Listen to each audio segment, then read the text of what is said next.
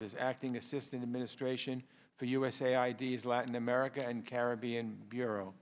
Mr. Olive, now some consider it a good soundbite to say that Venezuela represents the failure of socialism. But we should be honest that Venezuela is not a socialist country. It's a kleptoc- kleptocracy, kleptocracy.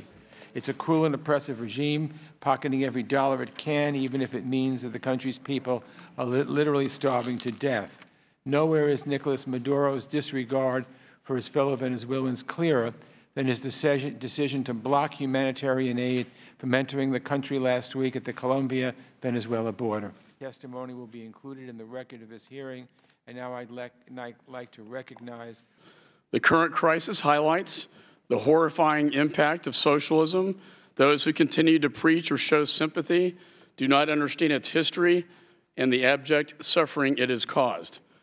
Let us be clear the suffering of the Venezuelan people at the hands of the Maduro regime is not caused only by its ideology. The Maduro regime is full of criminals that oversee a mafia state backed by U.S. adversaries like Cuba, Russia, China, and Iran, and is linked to drug trafficking and other illicit activities.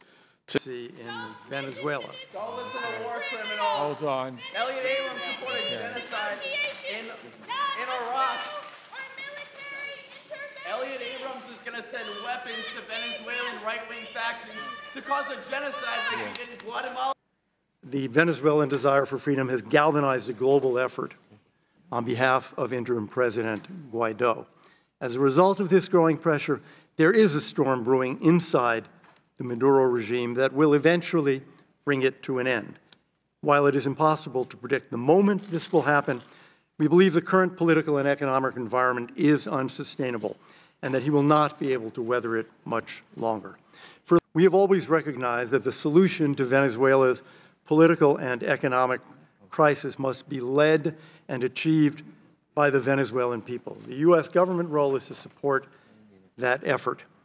And as we meet today, Mr. Chairman, the State Department and its interagency partners are hard at work responding to interim President Guaido's call for international humanitarian assistance.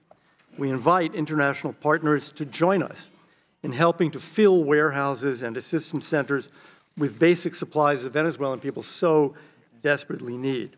Advising May I remind bloody coup in Venezuela.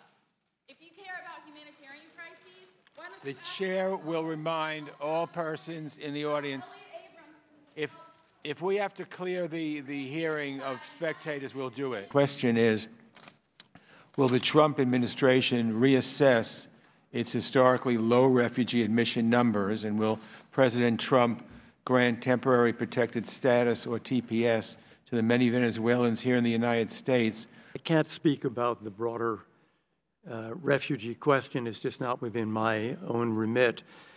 On the question of Venezuelans uh, in particular, uh, the doors are not closed, certainly for those who um, have a reasonable uh, fear of persecution and can apply for political asylum. But on the broader question, uh, I think you're raising an important question, and it's one that I intend to discuss with the Secretary when he completes the current trip to Europe, the question of, of Venezuelans who are in the United States.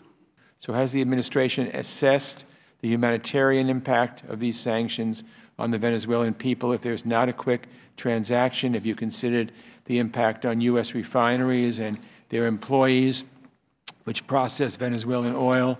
Well, I don't think the sanctions alone are going to have that impact, but in any event, we want to do a very big humanitarian surge uh, with the many allies we have in this effort to help the Venezuelan people to make sure that their own situation is not worsened.